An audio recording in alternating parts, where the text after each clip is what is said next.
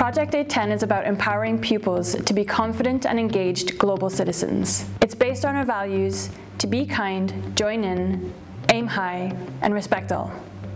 It's about giving our pupils the skills and understanding to make their school, their community, and the wider world fairer, sustainable, kinder.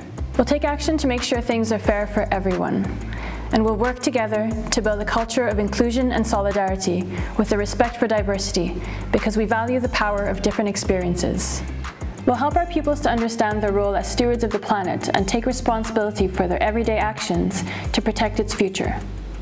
We'll also work with the school and others in the community to make sure that everything we do is less damaging to the environment and more sustainable. We'll continue to look outward to understand differences in identity and how they shape our world.